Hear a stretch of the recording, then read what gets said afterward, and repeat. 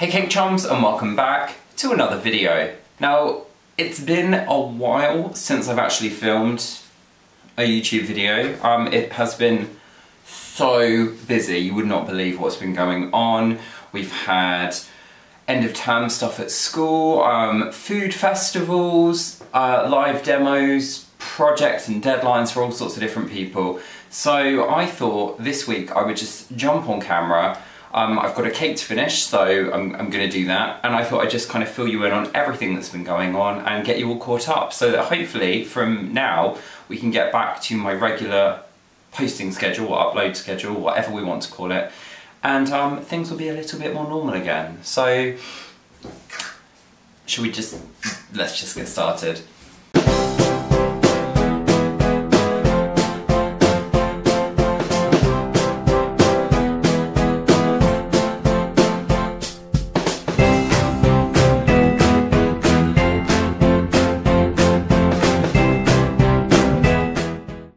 So as I say, in this week's video, I'm going to be decorating a cake. And while I do that, I'm also going to be telling you guys essentially what's been going on in my life over the last few weeks.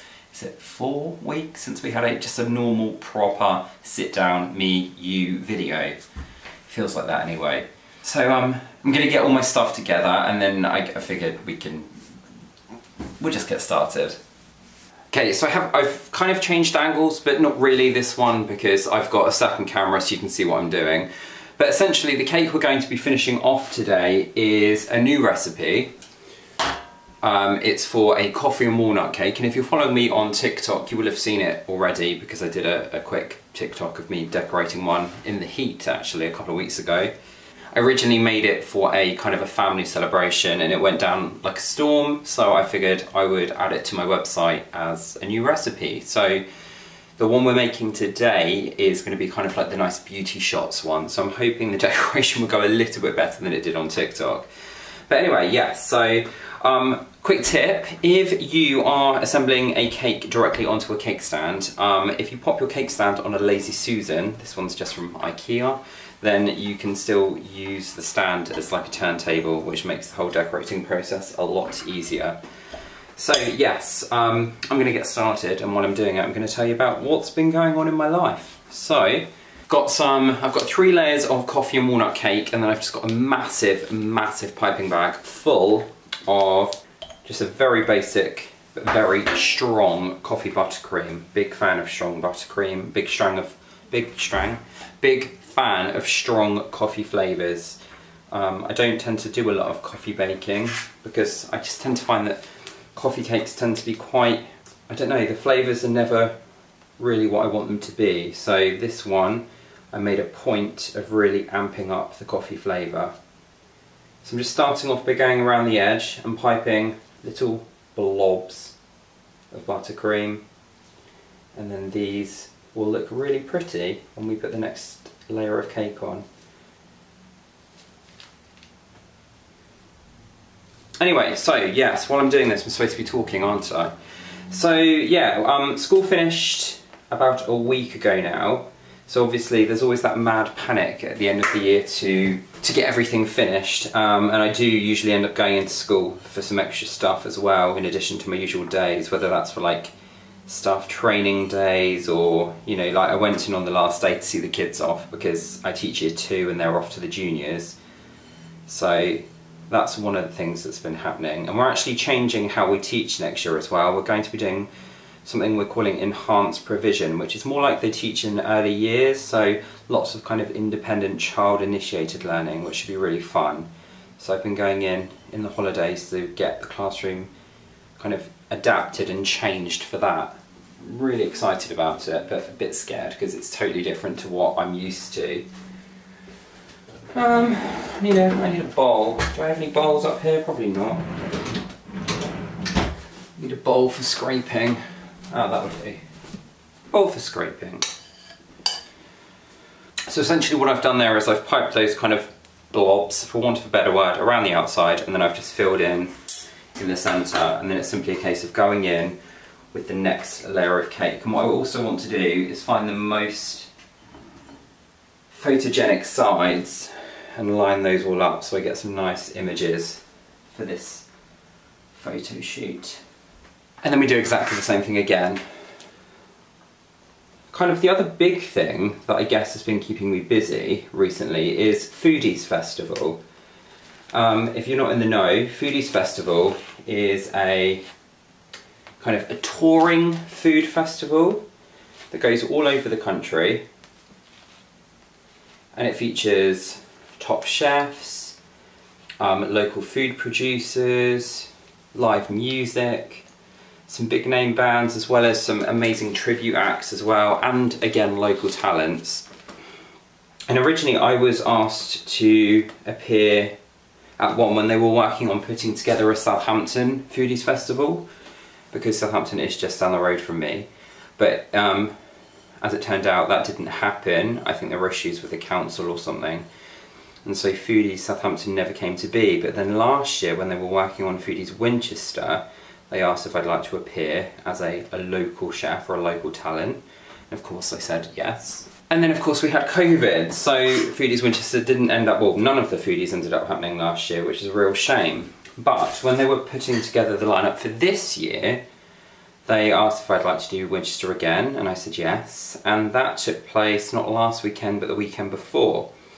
And I'll be honest with you guys, I had an absolute blast. I did it all three days, and I was appearing in the Cakes and Desserts Theatre, or the Cakes and Bakes Theatre, and making my carrot and orange cupcakes, which are over on my website, I'll put a link in the video description. And then the night before the first day of the festival, I had a phone call from kind of one of the, the top bods at Foodies in a bit of a panic, saying that some of their chefs had been pinged by Track and Trace, and would I be able to do any extra demos on the kind of the in the chef's theatre, which is where kind of all the master chef champions and local Michelin starred chefs and things like that appear. And um, yeah, I, I did say yes, and then proceeded to have a bit of a panic about it. In fact, I put something up on TikTok. I'll see if I can share it here as well so you can see. Good morning, people of TikTok. Um, I need to have a quick freak out here on the app because nobody follows me and therefore nobody will see it. But today I am appearing at a food festival, uh, Foodies Winchester. If anyone's coming down, let me know in the comments, that's the one. Um, and I was appearing in the Cake and Bake Theatre because this is what I do.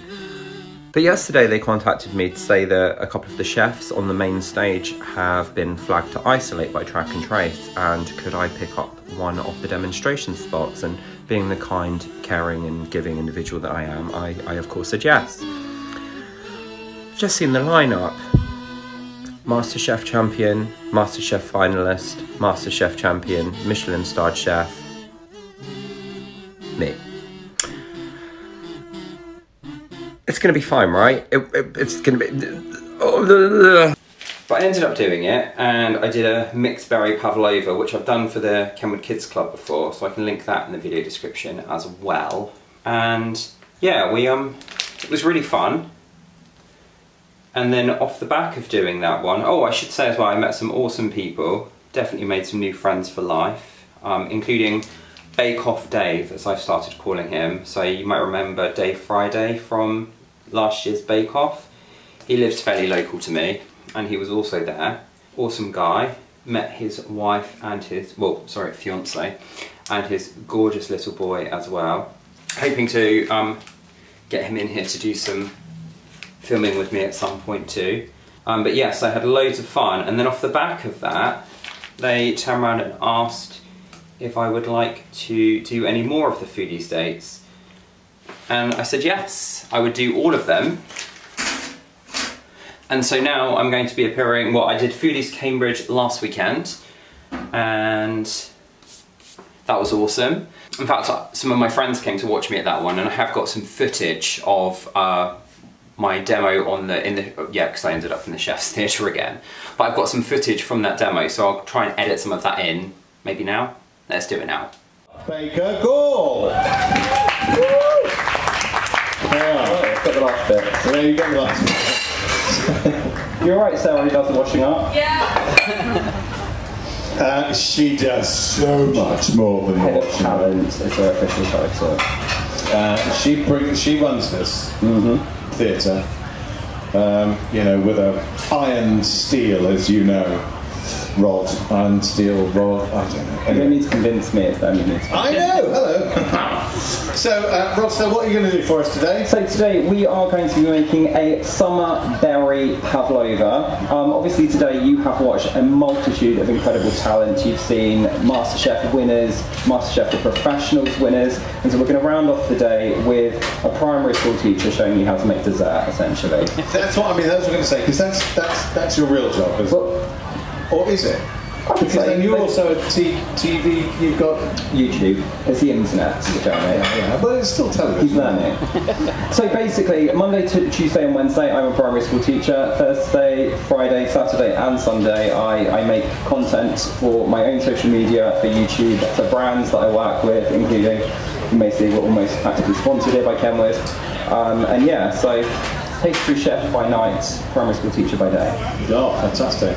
Absolutely fantastic. Shall I, shall I start cooking? Why not? Okay. Do you sleep? Um, sometimes, not well. And that is the perfect summer dessert. Make it in advance, pop it in the fridge, and it will go down an absolute storm. So that is my summer berry pavlova with fresh cream, fresh fruit, and a fresh homemade mixed berry coulis. Doesn't that look beautiful, ladies and gentlemen? Rob, take the door. Thank you very much. What can I say, Rob? Thank you so much, as always. Very entertaining. So as you can see, I definitely play up the fact that I'm not like a Michelin starred chef or anything, but it is so much fun. And the guy who was compering with me on, on that stage is Jeremy, who is the husband of the kind of the woman behind Foodies Festival. Um, and we just have such a giggle. It's really, really fun. But yeah, so that that was last weekend, and then on the way home, I stopped in to see Natalie and Chris, as you'll know, because last week we did the live video together, which if you haven't watched yet, again I will link in the video description and in the corner.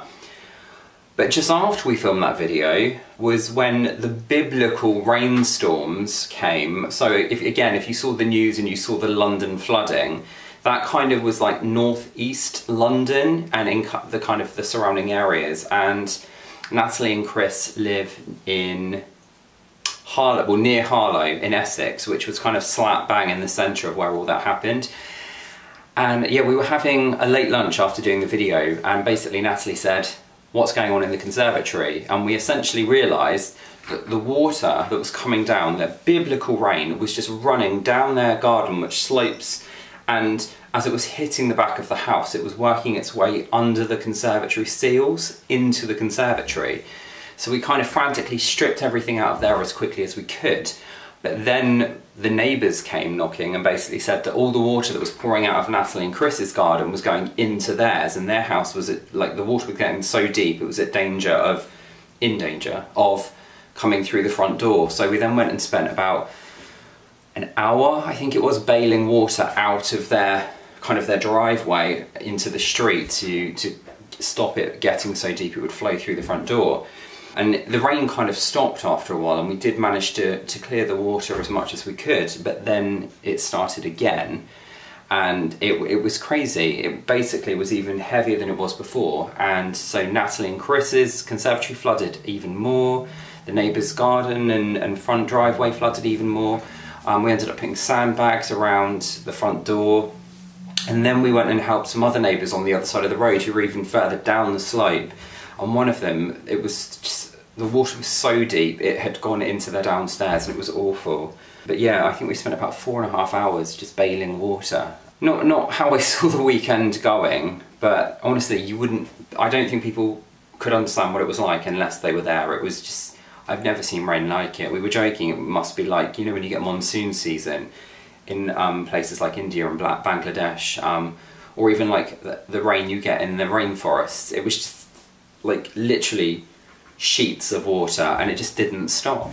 But yeah, so that was essentially the weekend, and then since then I have been in school, kind of getting everything set up for September, and we did obviously we've been doing the Kenwood Kids Club. That's been happening throughout. So can get all caught up on those episodes. Again, I can link that down in the video description.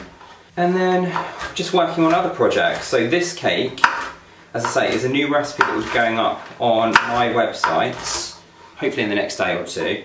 But I'm going to be demonstrating it live over on the Kenwood Instagram on Thursday. So Maria, who usually does their weekly live videos, is on holiday at the moment, so I'm going to step in.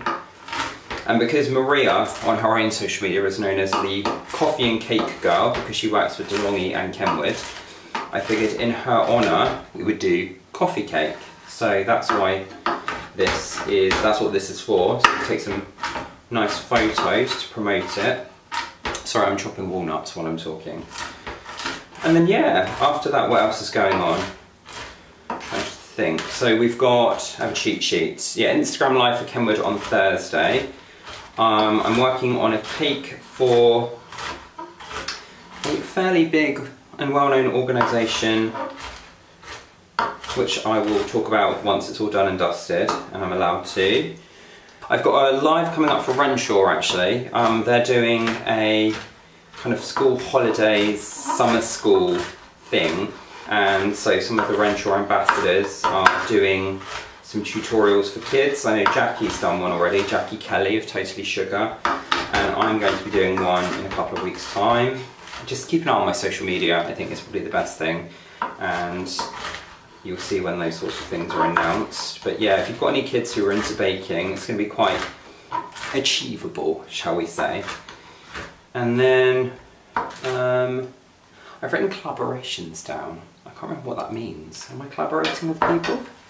Um, I'm not actually sure. Um, so anyway, yeah, I finished the cake. Um, I just piped a load of um, like kisses on the top and then all I'm doing now is just sprinkling it with a very generous amount of roughly chopped walnuts and then I'm going to let some kind of fall down the side as well just give it that nice rustic finish good for photos less good for the cleanliness of your home he says dropping them all over the floor in the recipe I say to chop up a, a kind of a small handful and I've just chopped up a whole bag so I don't know why I did that but yes, essentially that is pretty much what the finished cake looks like. But yeah, so I'll be making this live over on Instagram next week on Thursday if you like the sound of it. It's absolutely packed with coffee because as I say, I'm, I'm not a fan of kind of anemic, weak coffee flavouring. If you're going to do coffee, I want to taste coffee. But yeah, so Instagram next week on Thursday. If you're not already following me on Instagram, um, I'll put my username up on the screen. And yeah, Renshaw in a couple of weeks. Collaborations apparently, but goodness knows who with. Um, and then, as I say, Foodies Festival, I am doing, I think the next one is London in two weeks' time, so that's at Syon Park. I will be there. We've got Bristol coming up, Bournemouth, Brighton, they're kind of all, all, over the place. So again, if you keep an eye on my social media, I'll let you know as and when those are happening. And yeah, and then obviously, I'll be right here every Sunday on YouTube, Touchwood, with a brand new video. So if you haven't already, feel free to hit that big red subscribe button down below to make sure that all my videos pop up in your suggested list. And if you'd like to receive a push notification every time I upload a new video, you can also hit the bell icon as well. Now, I appreciate this isn't very normal compared to my usual content, but I really wanted to get a video up this week. I also had to finish this cake, and I just wanted to explain where I've been for the last few weeks, because people have been asking. So hopefully this video satisfied all of those briefs. And as I say, from next week we'll get things back. Oh, I remembered who I'm collaborating with, but I can't tell you yet. But yes, I'm going to be collaborating with someone, and it's very exciting actually. It's, it's quite huge. We're going to be making a cake together here on my channel for an event that we will then take the cake to um, and I'll get footage from that as well. So that's coming up as well. So if you're not already subscribed, you should definitely subscribe. Not normally this mad and manic, I promise. I don't know what's going on. But anyway, yeah, so that's also happening. Very exciting. Um, but yeah, essentially, not always mad. If you haven't already, give this video a thumbs up. um, to tell YouTube that more people should see this crazed state of mine. Make sure you're subscribed, make sure you're following me on social media so you can see what is coming up over the next few weeks. And um, I guess I'm going to wrap this up because I now need to do a nice photo shoot of this cake so that I can send the pictures to Kenwood. So thanks so much for watching. If any of what I said didn't make sense and you'd like some clarification, feel free to jump down to the comments and let me know. Otherwise, I'll see you next Sunday. Until then, stay safe, take care, and as always, happy caking.